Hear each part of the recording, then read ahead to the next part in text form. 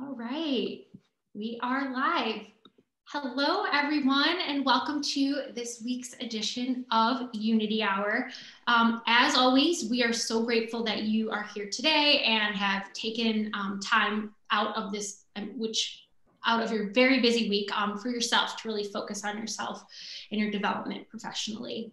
Um, we're really excited about today's session. Um, but before we get into it, as always, we're going to do a quick little PSA. Um, you know, we build these Unity hours for all of you. So if you have feedback, suggestions on um, anything you'd like to see here, um, please, please, please shoot us an email at community at themomproject.com. Um, we are checking that inbox and um, love your suggestions and thoughts because you guys know what you need um, best. Um, additionally, for those of you who might need um, any help, might have been impacted by any, you know, virus related furloughs or layoffs. We also have our Unity coaching program that is currently available. Um, we have a stable of amazing career coaches and resume professionals and mentors um, that have um, so generously uh, donated their time to our community and they're um, offering up free coaching sessions um, for people who need it. So we can drop the link to that program in the live chat um, and you can check out, um, you know, what the program's all about and apply. Um, we're here to help. We want to, um, you know, make things easier for you in these challenging times. Um, uh, as always, I guess I didn't introduce myself at the beginning. I'm Katie. I'm on the community team here at the Mom Project. Um, and today's session is the art of networking. Um, this is something that networking is not necessarily a dirty word, but we've heard from a lot of you that it's a bit of a gray area. Uh, people don't know where to begin. People don't know exactly what it means.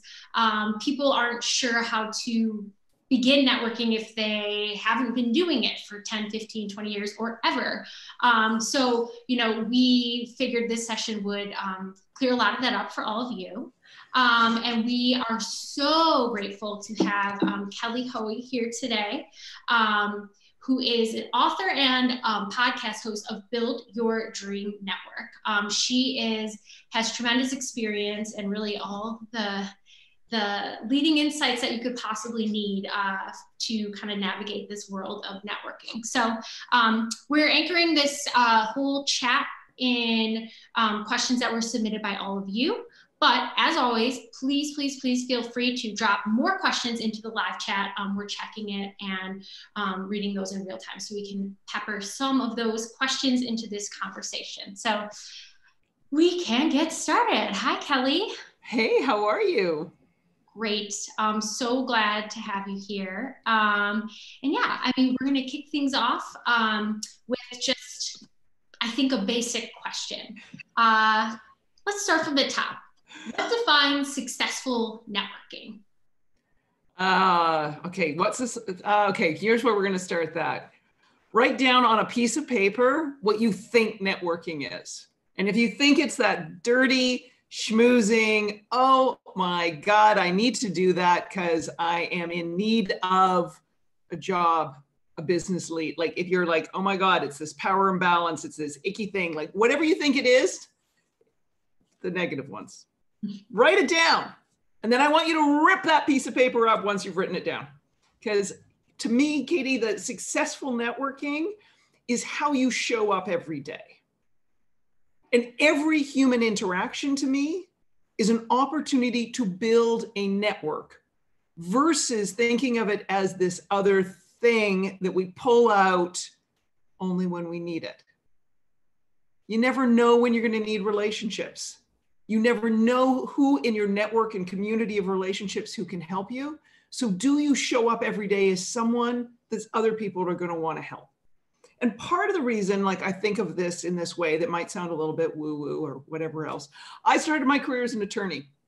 And for any of members of the Mom Project community who know that world and probably know it intimately themselves, uh, you know, your your time is what you spend. You have to bill hours. Your productivity, everything about you is how much work are you doing? At the same time, you're expected to build relationships. I graduated from law school in 1991.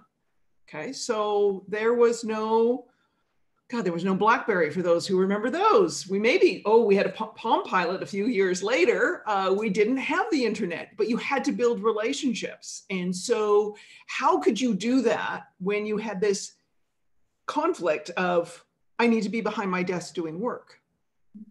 And so, every phone call, every voicemail, you know, every piece of client work delivered, every little touch point had to be meaningful because I didn't have like any attorney, I didn't have abundance of time to be running around and networking. So, how do you look at it differently? So, for all the women on this session, think about your your your life, and you can think about it in the pre-COVID days. You can think about it, you know, these post-pandemic days where, you know, so many things are restricted.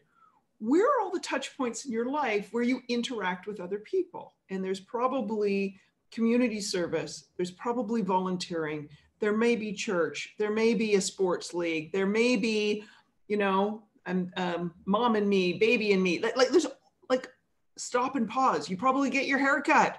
Maybe you go to a gym.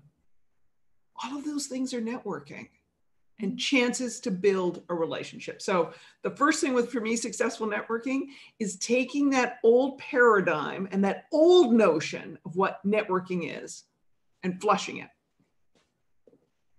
Love it. I mean, it's true. I mean, it's true when you like think about it as like a separate thing you need to work on. It's, right. Like you can weave it into what you're doing all day. That's right. Right. It's, we do it every day. We do it however we show up. Mm-hmm. Right. And you, and I know we're going to talk about this later if people haven't, you know, um, been in the workforce for a while, but you know, who were you the person in the workforce when you were working?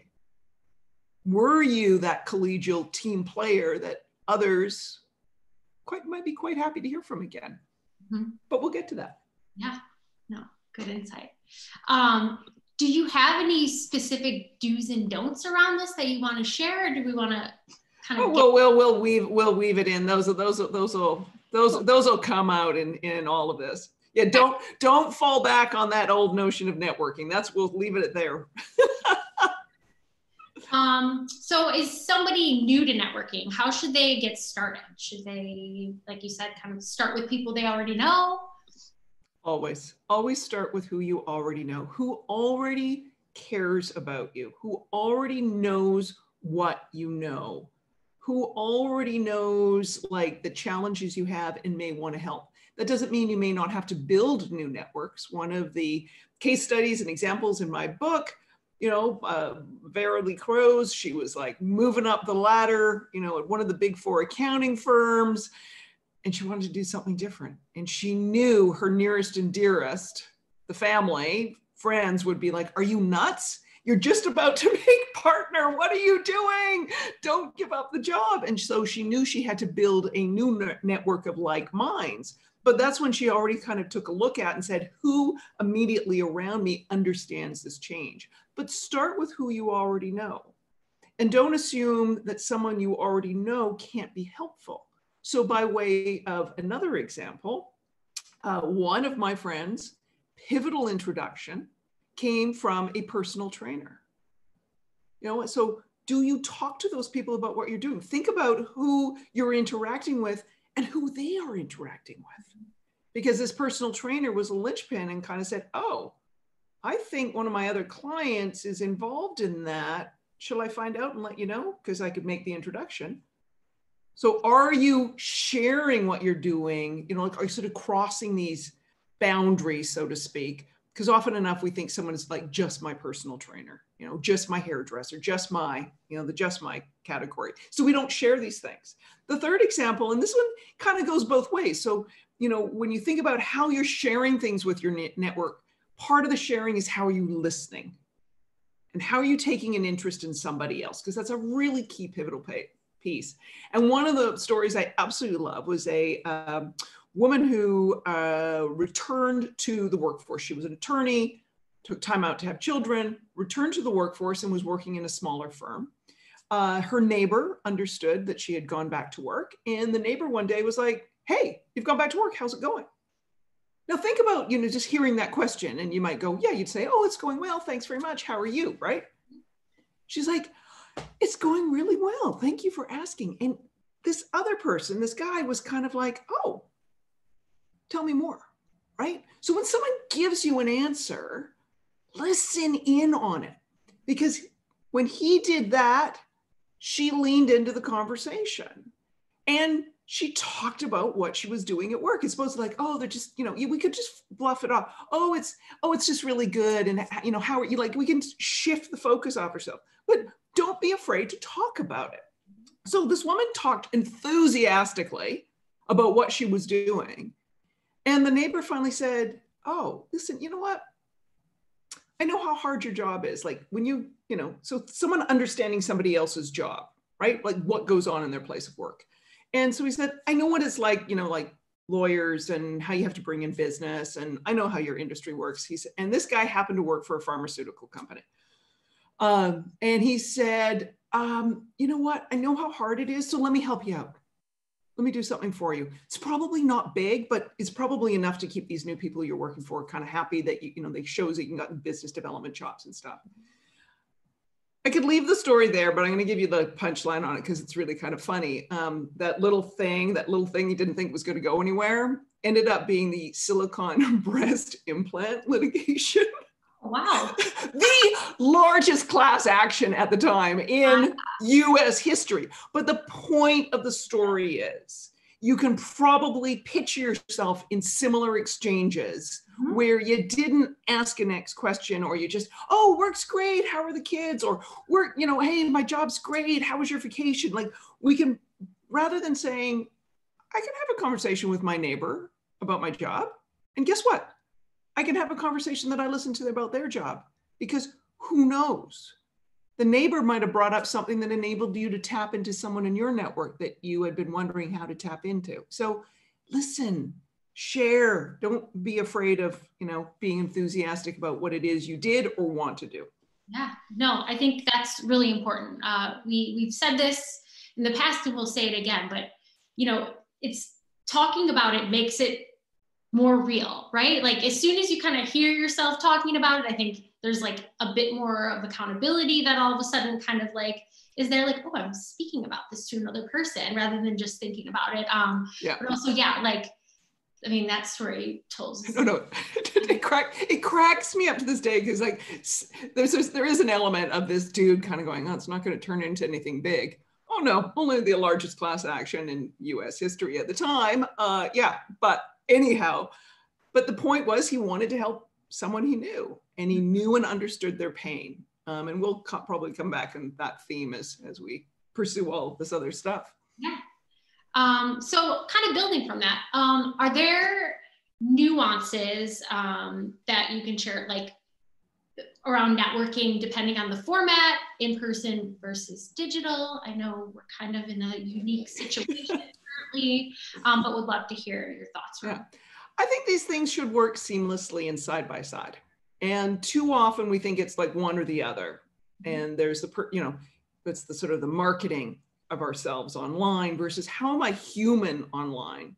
Because uh, we have what, you know, we've seen with generations, you've seen before pandemic, COVID, some of the biggest adoption on social networks was coming from you know, the boomer plus generation. Some of the increase in in real life networking was coming from the younger, the digital first generation.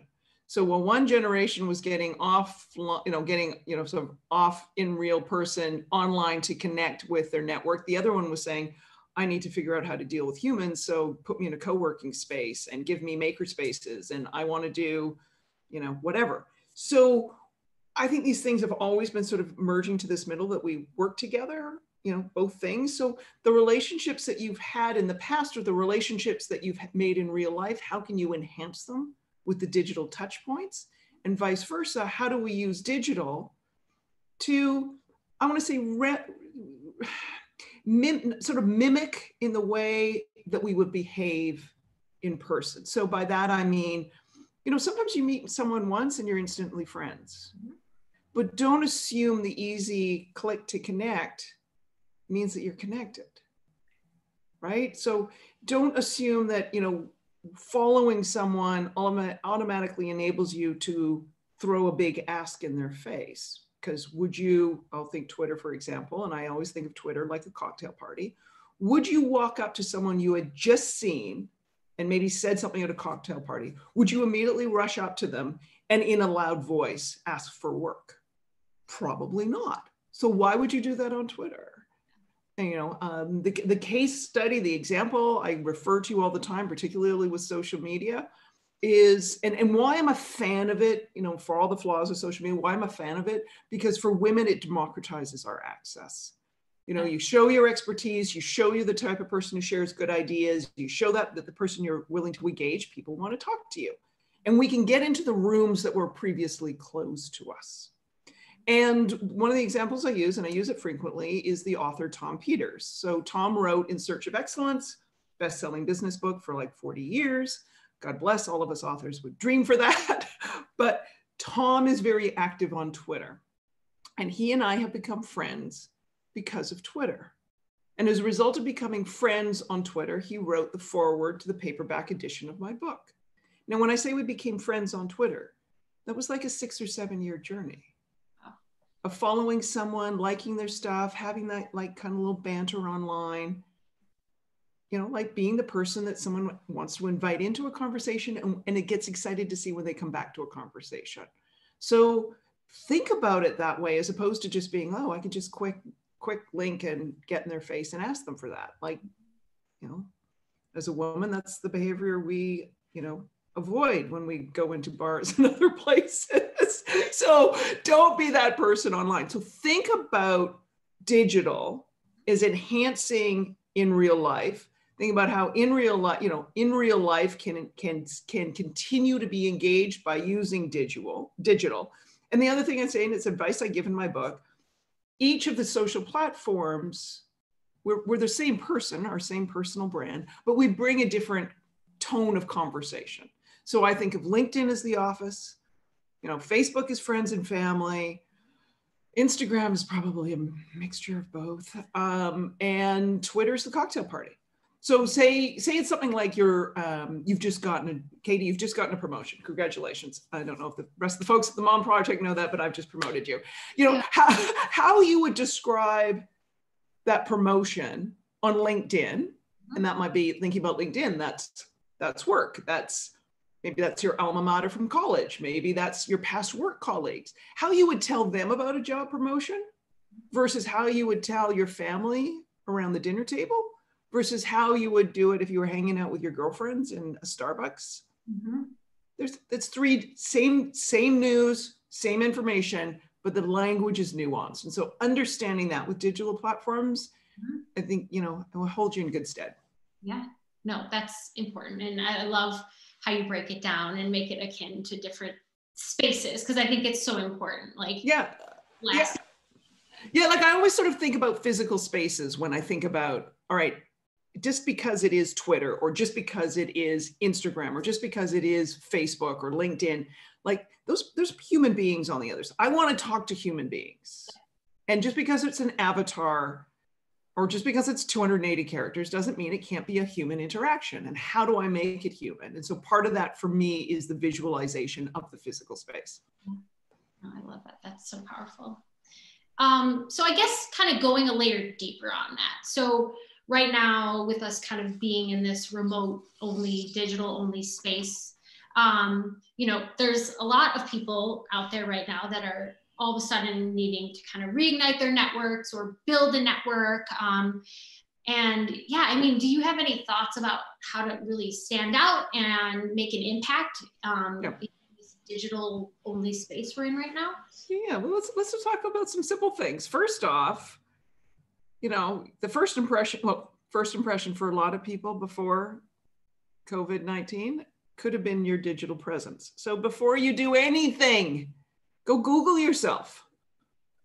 What shows up? A- you know, and yeah, like just the first impression is not necessarily the email, it's what they do with it. You know, they go and click over and look at your, you know, and go, what? I don't know this round, you know, blue, black, you know, think about like think about the uh, the uh, blue background, white outline, no face, or you know the headshot that is taken from 20 feet away like you know and and not enough deal details on a linkedin profile to make any sense. It's like go and say what if the first impression i send that email what do people find? So i say the first networking thing is check your online profile and and make sure it's what you want it to be. And if you need to clean it up if you need to put things some things on private whatever and I would say do it across the board because you may be part of niche networks like this one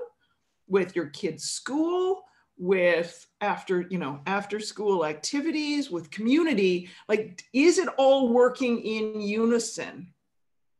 Because your next opportunity may come from mommy and me, right? It, it may come from that as opposed to the polished LinkedIn profile. So in terms of like where to start right now, I'd say start there. Mm-hmm. Then, um, and maybe this goes back, Katie, to being a lawyer and having that limitations, you know, constraints on my ability to network. So, you know, I, I like to say I'm an inside the box thinker because, all right, here's the here's the box we have. What do we do with it? So these are the tools we have. So fix up that online profile, make sure that's working for you. Secondly, these are the tools we have. So when there is a chat function on an event, you know, do, and sometimes they're public and people can see them, do you introduce yourself mm-hmm. to other people? Do you treat it like walking into a conference? Hey, I'm Kelly and I'm from Manhattan. Creative Mornings is an amazing community for this in terms of this generosity and this dialogue that goes on. Uh, when there is a public chat function, say who you are. Hey, I'm Kelly. Uh, I'm an author. I live in New York. My question to this to for the panelist is like because other people are reading that chat function. Right. Now you've networked not only with the panelists and the moderator and the event organize, organizers, you've networked with everybody, seeing everybody else out there. So start kind of using these imaginative ways of this existing technology. And then the third piece I'd say on this, Kitty, like the, the most brilliant part of all the digital is we now have all the information in front of us. And as digital as with in real life networking, we all worry about what we're going to say. Worry about how you're going to listen. Because with everyone sharing information, you can gather a whole lot of insights on who someone is, what rocks their world, what, what time of day they're busy, you know and in, in all of that information you might find a really strong and powerful way to connect with someone that wasn't evident before. Yeah. Yeah. That's important. Like you keep hitting on that the listening piece. Like it's not just a one way thing. So yeah. Yeah, yeah, uh, exactly. And you know, go back to Tom Peters. He always writes the word "listen" on his hand when he goes into a meeting, so he actually listens.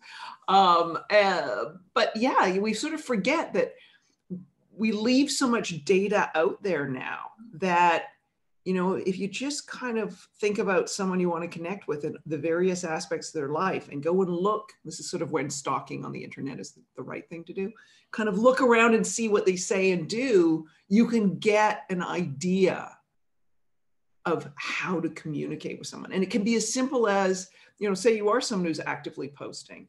Some of the people you want to connect with and talk to about a job what are they liking and talking about with with what you're posting? What time of day? You know back back in the day when you know people went into offices i noticed with someone in my network she would always tag and like certain posts of mine at a certain time of day and not later in the day. And then i just sat there and i thought let me think about her work and her life. And then i sort of started like okay i'm going to make a calculated guess. My guess is she goes into the office early grabs her coffee, sits down, and part of before she organizes her day, she does some of her own professional networking on LinkedIn. I bet if I called her about now, she'd answer the phone. Bingo. I was right. Right. So it's like take the take all like be like a sleuth, like you know, sort of Nancy Drew, right? like be a little sleuth and sort of put the pieces together and make a calculated guess based on that specific person you're trying to reach. Yeah. I mean, even like, you know, I feel like we got a lot of questions about like cold LinkedIn, you know, connection outreach, which is a whole different thing. But like, yeah. you know, do it. Put a little, don't just hit like connect, right? Like do some research, like figure mm-hmm. out what you can offer to them. Like, you know, yeah. throw it out there. Um, uh. Very powerful. Very powerful. Um, so kind of shifting gears a little bit.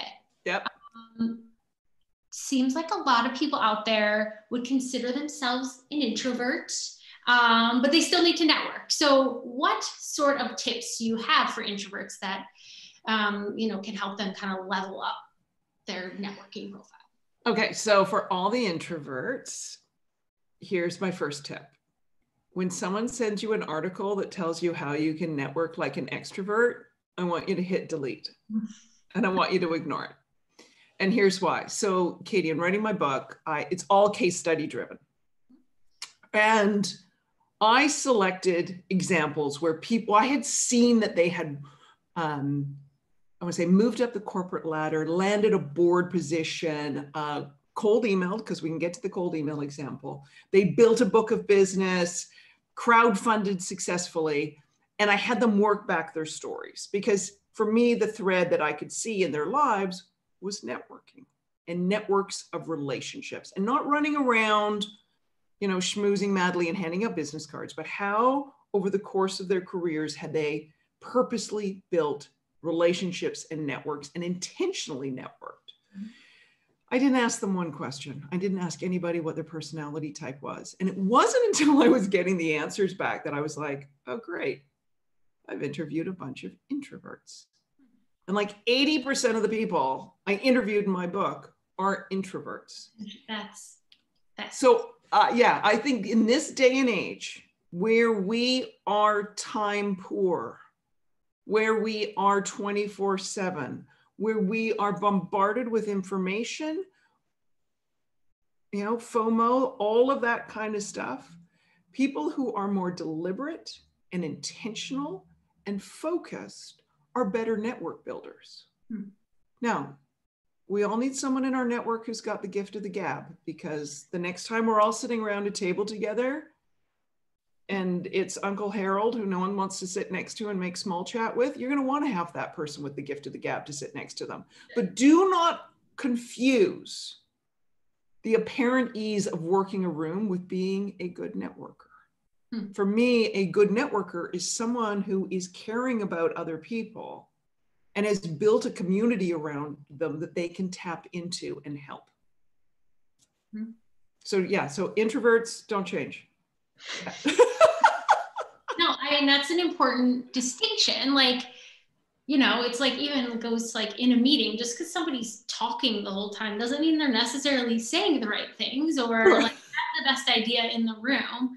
Um, yeah, I think there's power in being intentional and strategic and very deliberate about what you're doing right. and not, like well, out there. Yeah, yeah. Well, you know, there's sometimes when you do need to throw it all out there because uh, like when I think of my own example, when I um, started a startup accelerator, I mean, you would have thought I would like had my head cut, like chicken with my head cut off, running around New York at every single startup event but I needed to figure out which ones were worth my time. And I could only do that by standing in the room. So I may have had four or five events in a night, but I would walk in. And if I immediately was like, eh, nah, I'm out of here. Yeah.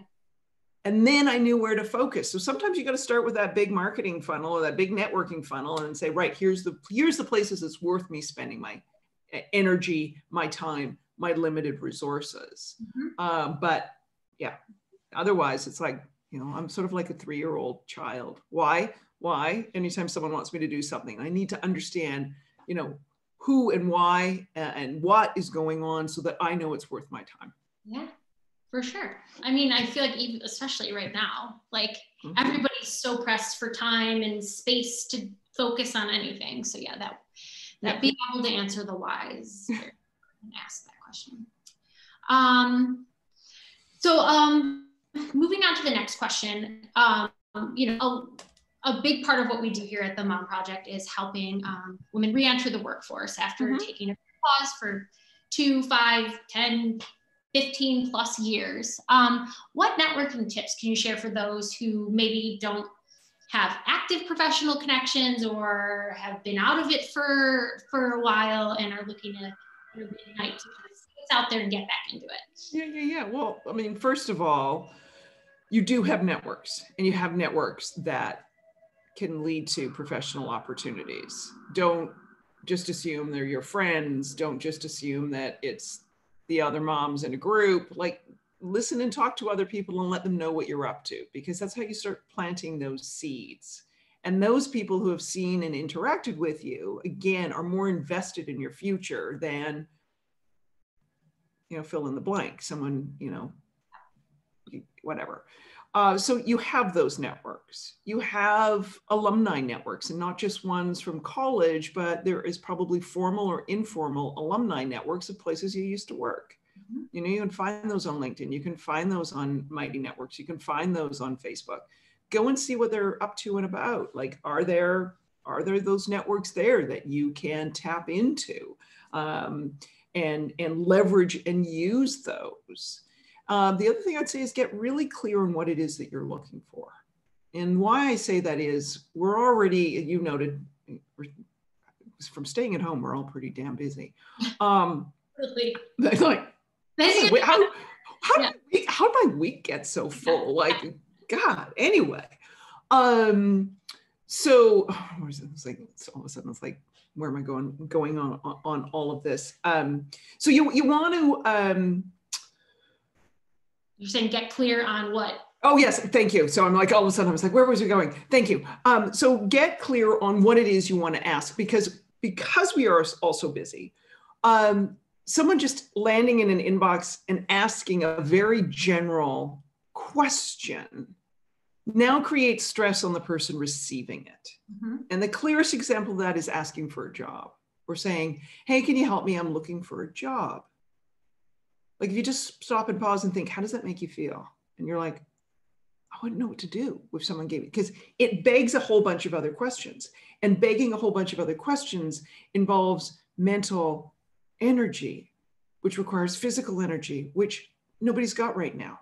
And so you just got to, right, there's that level of fatigue, which makes this more urgent. So decide exactly what you need and do not be afraid of being specific. Mm-hmm. So instead of saying, I'm looking for a job, what is the exact job you're looking for? And once you can define what's the exact job you're looking for, you can start thinking about your in your network who in your network may or may or may be likely to be somehow connected in something in that world. So if I said, you know, I'm looking for a job at Goldman Sachs. All right, who in my network is connected in the investment banking world? All right, there may be someone who's connected in Goldman Sachs. I'll try that route. When that doesn't work, who may be connected in the investment banking world directly? Who may be indirectly. And then who are just people when they say, Hey, how's it going, Kelly? It's like, good, I've really got clarity on where I want to go for a job search. Uh, I really want, and I saw a posting and it was for um, senior vice president of financial products at Goldman Sachs. And that's the job I want. And they all may look at you and go, Great, you got clarity. That's super. Wow, you know, but you've now planted the seed. Yeah. And who knows who they're talking to a day later, two days later, two weeks later, they're like, oh, oh, I found someone at Goldman Sachs. Do you want to meet them? Right. So get really specific. Think of it like a dartboard. When, when you play darts, right? Bullseye. We always aim for the bullseye. No one plays darts to win by firing out on the outer edges, right? You may hit the outer edge. But the point is aim for the bullseye when you're asking your network. Mm-hmm. And then you give them a radius to give you answers. But if you're just sort of out there, I'm looking for a job, is that Walmart or Walgreens or like what, what are you looking for? Yeah. And that's too hard for them at any point in time and extremely so now. Yeah. I mean, that's something it comes up, you know, and even past sessions here or from our talent team that's, you know, working to place our community in jobs. It's like when you're applying and kind of telling your why me pitch, you know, why you should be considered for that role. Yeah. The more specific you can get, the easier you can make it on them without having to come back to you with a bunch of questions. Because exactly like nobody has time right now. Uh, yeah, exactly. And, and and again, this goes back like why not aim for that bullseye even if you're talking to your personal hair, your personal trainer, your hairdresser, right? Hey, what's what's going on with your job search? You know what? I've narrowed it down. Here's here's what I'm looking for. They may look at you and go, I have no idea what that is. Right. Or they may say, Oh, my neighbor does that. Yeah. Oh, but she's not at HSBC. She's over at Bank of America. Would you want to talk to her, even though the role's at HSBC? Oh, hot damn, yes, please. Make the intro. So be specific and don't be afraid of sharing it with everyone. Yep. No, that's great insight. Um, so kind of piggybacking off of that a little bit, um, you know, what if you want to kind of re-engage with colleagues or connections that you haven't spoken with in a while? Like, how can you kind of reignite those without coming off as like desperate or like, you know, just like so out of left field, I guess. Yeah, yeah. All right. So let me give you a, the tale of two in mail messages. okay. So this was, these are personal ones. This happened to me. Um, and they came from around the same time, both from colleagues, former colleagues from when I um, had worked in, for a global law firm, uh, both in the capacity of professional development and then in marketing. So one was a marketing colleague and one was associate at the firm who I had been their manager of professional development. And it had probably been seven or eight years since I'd seen either of them. Okay. okay. So there you got the context. The marketing person, this is all happening on LinkedIn. Okay. So keep everyone visualize that. Hi, Kelly, what are you up to? And I'm like, oh, this is interesting, right? Personalities showing themselves through. Hmm. I said, uh, I'm well. I wrote a book. Comes back. No way. What's it about? And I'm thinking to myself, we're on LinkedIn. You don't have the courtesy of going and looking at my profile. And then there was like the big juicy ask to help someone out from someone that he wanted to do a favor for. And I was like, hmm, leopard doesn't change its spots, does it? Right. And so but okay, so you don't want to be that person. Yeah. Use the tools, find the information. The second example, okay, let's go go back to remember same same firm, same time period. Hey Kelly, and it was like a it was like a beautiful handwritten note. And it was, hey, love to see, love. I've been watching what you've been doing, and and congratulations on this, that, and I'm not like saying you have to blow smoke up people's you know what's, but she acknowledged what I had been up to and the career changes. Mm-hmm. And she said, now, yeah, and, and part of it is like, hey, Kelly, you may not remember me. This is when we worked together. By the way, everything you've done and your change, everything you've done since, you know, we worked together. Oh my God, all those changes and da da da da, and whatever. She said, by the way, this is what's happened with my career since we worked together. Talked about how her life had changed and then, boom, where the intersection was. My life was very much in the startup world at the time. Hers was in the startup world. And she had a question. And she said, if we if, if it wouldn't be you know an imposition here's the question i have and i'd love you know because hey you were the person and she was i was the person she used to go to with career questions before she said i kind of would trust your advice on this and i'm kind of grateful that you're but anyway you get the point. I was so ecstatic to get, you know, it'd been seven or eight years. And it was really, really nice to get this message. And this was not someone who I was staffed on. I was like her manager of professional development. So I mm-hmm. saw her as an incoming associate. And then I had to do performance reviews and I had to be like, uh, sorry, you haven't done this stuff. So it was just on the basis of, you know, who reputation and who showed up at work every day and you know kind of was pleasant and collegial and all that but we weren't buddy pals so this wasn't like oh the guy was a kind of a douche and this woman was nice. You know who do you trust? Who do you want to give your social capital to? Who produced really good work and was the kind of colleague others wanted to work for? Mm-hmm. but at the same time this intersection of all this information. So you know, on a kind of a cold emailing one, one that I think of, a senior executive at Pfizer who I was interviewing, he had noted that uh, he was meeting for the first time with a new hire who got into the pipeline to be hired at Pfizer because of a very thoughtful cold email. And again, whether it's for new work, like that you're reaching out to a former colleague or for cold email, like doing that research and showing, you know, why you're the one, why the personal interest, what you know about that other person's business, what's, you know, what's going on in their life, and the intersection with a very specific ask. Mm-hmm. And that is something people can deal with, and that is something they really do appreciate. Yeah, I, I guess, you know, if you ever get those random messages or whatever, you're just like, no context, just like super blunt. It's like, what? Is this how the whole engagement's gonna go? Right. It's, yeah. So yeah, so I, you and I were chatting before, and, and as I said, I've, I put together a list of resources for all the attendees and, and anyone who signed up and couldn't make it today. And uh, one of those on there is a piece, it was for Quartz. I'm gonna make sure I've got it on here. I'm sure I put it on here. Yes, um, it was for Quartz and they, they asked me like, when do you accept a LinkedIn? You know, it, uh, you know, request to connect and whatever. And I said, well, it's really easy for me. Someone doesn't put the context, I just delete it. Mm -hmm. Because now you've given me work to do. How do right. I know? How do I know you? When did we meet? Whatever. And it doesn't have to be much. It all. It could be very simply like me emailing you after this on LinkedIn and just saying, "Oh my God, Katie, loved doing the webinar with you. Thank you so much. Um, let me know if there's anything else the Mom Project community needs from me." Yeah.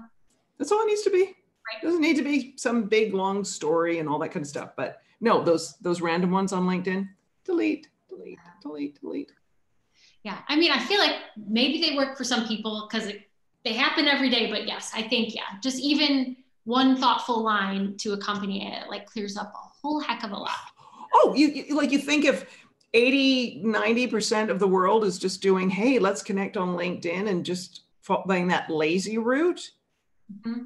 that little effort just takes you into another stratosphere that's so true that is so true though if 80% of people out there are just hitting the connect button and that's it you're ready by typing in basically anything at all, any context. Yeah, you're ready at the time. Yeah, yeah, yeah, yeah, yeah. It's a really good way to think about that.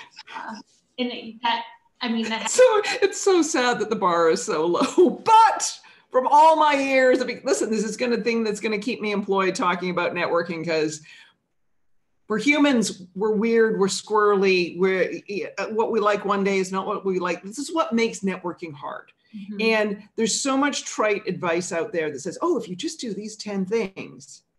No, we're human beings. We're weird. Mm-hmm. We're unpredictable. Like it, it, no. And so this is what makes networking hard. It will, and the day you think it's easy, you should probably check yourself and say, am I doing enough? Interesting. Interesting. I mean, yeah, I, it's yeah, it's I guess it's something you should constantly constantly be kind of thinking about and revising what you're talking about. You know, we always we say that to like our community, like whether it's your resume or your pitch or your vision for what you want to accomplish, like yeah. that's changing week to week, month to month, year to year. Like, you know. Well, and you know what? I'm going to throw out this idea for when we're all back together again. So years ago, you know, sort of looking and thinking about the friends I hadn't seen, it was like, why am I? Oh, here's why I'm not seeing them. They've all had children, they adopted, or you know, they had kids, or their kid. And I was like, this is why we're not seeing them. What am I going to do about it? Mm-hmm. So my ex and I used to have these events that I used to refer to as cocktails and kids. Mm-hmm. And it was sort of 4:30 to 6:30, 7 o'clock. I made sure there was dinner for the kids. Mm-hmm around the dining room table. I would do, you know, cocktails for the adults in the living room. And I said to the adults, I'm feeding your children. I'm not feeding you. And if you want to get a babysitter for yourselves and drop your kids off at home and meet, you know, my ex and I for dinner at a restaurant where we made a reservation, go right ahead. But otherwise, you're all getting kicked out of here at 7.15 because we got a 7.30 dinner reservation. But I wanted to see you. So here's how I'm going to do that. Um, had never crossed my mind to do that sort of thing, but it was like, put the pieces together. Why am I not seeing these people? All right, they all have kids. I can make chicken fingers. I can do that. Um, I can make mac and cheese. I can I can get kid food in the house. I can make this happen. So you know, you always have to think, okay, what would be helpful to someone else? And maybe that helpful thing at some point is going to be helping them, I don't know, clean out a garage. Uh, you know, maybe maybe networking with your friend is doing their kids' math homework because you're the math person. I don't know. Um, like that's why it's hard because you've already you got to take the attention off yourself for a moment. yeah, it's so true. It's I mean it is a give and a take. Like constantly, constantly. Yeah. Um, well, cool. So we have a few questions that have come up from the chat.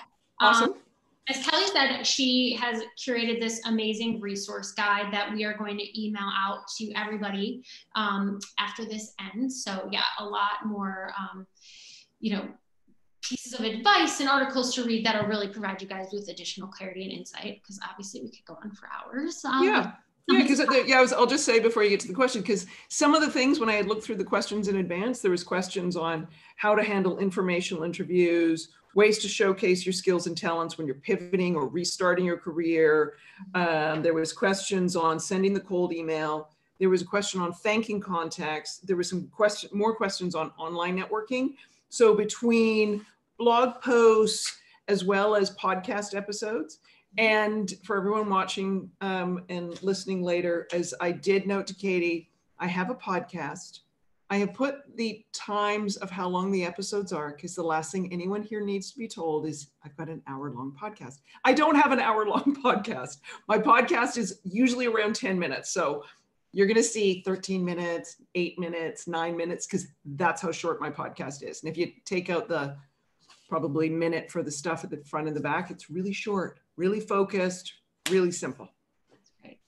I appreciate that. It's like, like you can digest it and not like you know sometimes you just like there's so much information it's like i don't even know the one key point to walk away with so that's right right right or you put them on and you're like oh, okay i'll just put it on while i'm doing ironing or i'm doing cleaning the kitchen or doing whatever and then you miss like so much of it you know so yeah um okay so here's an interesting question um how to build a network in a new city where you don't know anyone. So if you're starting fresh.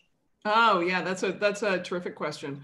Uh, well, first of all, too, go back to people you already know uh, because they may have friends, relatives. They may have moved from there. They may be part of a community that is got locations there.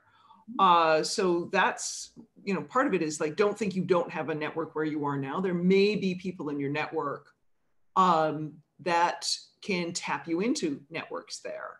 There may be the networks you belong to before that you could say, right, hey, I was really involved with the YWCA in New York City. Is there a, you know, is there a chapter? Is there a location now that I live in Tulsa? Like, find out some of those things you did before. Maybe going back to people who you collaborated um, uh, volunteered with and saying, Hey, I moved and I'm so sorry I'm not there to be there for you.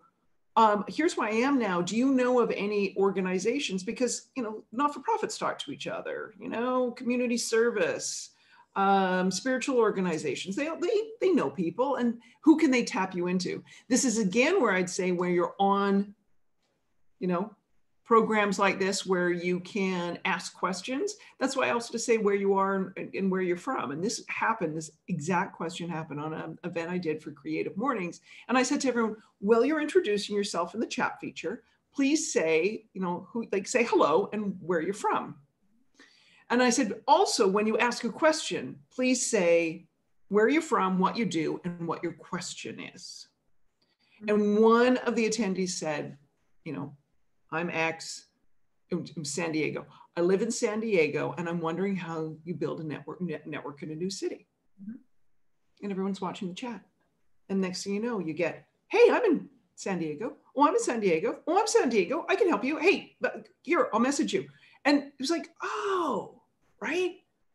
Some of the stuff is already there and just find these little nuanced ways, but start with who you know start with activities you used to do in the city you were in before and you had those close relationships and you know see what see what starts from there yeah, that's great um, another one that seems to um, seemed to come up in the chat. And I know you said you kind of included some points about this and what we're going to be emailing. Mm-hmm. But anything you can share right now on this live stream um, about networking for a new industry that you are thinking about jumping into, but you have like no connections into? Oh, I've been there and done that. I've been there and done that. Well, first of all, you know, some of these industries and stuff, there there's industry associations, there's organizations. Um, you know, go and see what's going on with them. Um, you know, so many people doing free online, you may be able to kind of tap in and watch what's going on in that industry or that association without, you know, having to pay some heavy duty, you know, uh, association fee or conference fee or all that kind of thing. Um, you know, I'm just trying to think like, okay, so when I went back, so I was uh, a lawyer and wanted to get over into the management side and realized, and this was in the same industry, but I didn't have the network to do it because it was entirely word of mouth. It was like, okay, what's precisely what I want to do? So I did informational interviews to narrow it down. So mm-hmm. I had sort of thought I want to be on the training, maybe recruiting, maybe the marketing. And I did a couple of informational interviews that people I already worked with set up. And then I could eliminate. I'm like, uh, no, don't want to do that. Mm, no, don't want to do that. Okay, this is what I want to do. And then it was, then I thought to myself, all right, I want to do this specific thing, professional development. Where are places that, where's the information on this?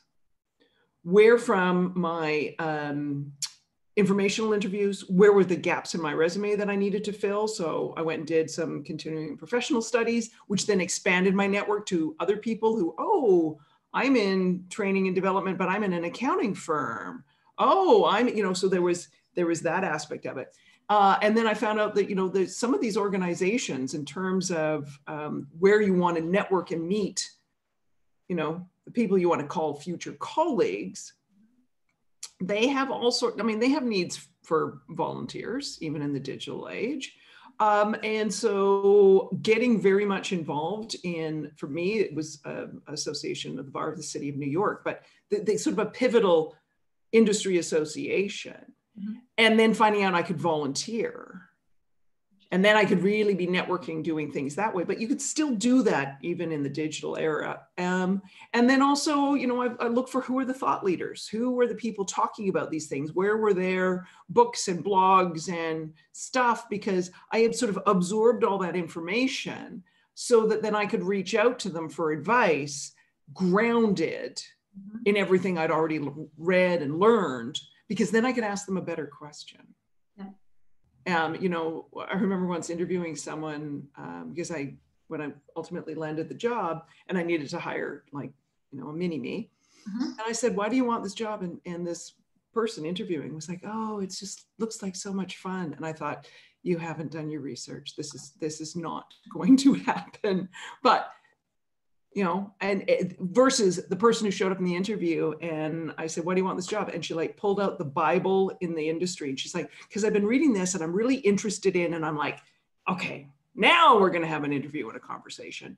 Um, so, like, live and breathe the job that you want before you get there, and volunteering, going those associations, absorbing all that stuff is a really great way to do it.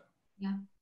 Right. And like, I think as part of all of that, like the last thing you want is to put in all of that time and energy or like, you know, and you get there and you're in it and you're like, wait, this isn't a good fit. So yes, doing all that research up front, learning as much yeah, yeah, and, and I want to say, um, you know, part of it for me too was like doing all that reading and stuff. As I met people who could fuel my career search, I now had a way to get into. I now knew um, how to stay top of mind with them because I was reading all like I would like completely immerse myself in the subject matter once I decided that's what I wanted to do. And I went full in.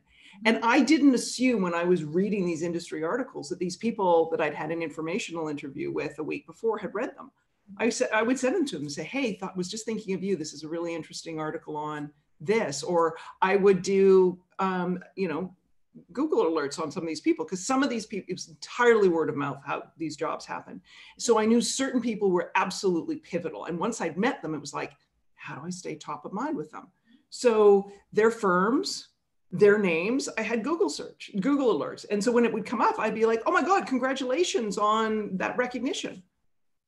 and they would come back and like, oh my God, thank you. You know, how are you doing? Oh, you know what? Oh, I think I saw something the other day. And right. So it was like I found ways, but one of the key things was that I didn't assume that these people in these really busy jobs were able to read all the information that I was reading. And so I would send them things. And, you know, sometimes they answered, sometimes they didn't. And sometimes they came back and they were like, oh my God, I'd never see this one. Thank you so much. And who, who looks like the hero then? And then ultimately, I mean, the other upside of this is when you do land the job, you now have the industry network. Mm-hmm. You now have got all the people to tap into, um, you know, to help you get up to speed of what's going on, you know, competitor firms or other companies. It's not just landing the job, you can now do your job better because you have this collegial network of other people in your field.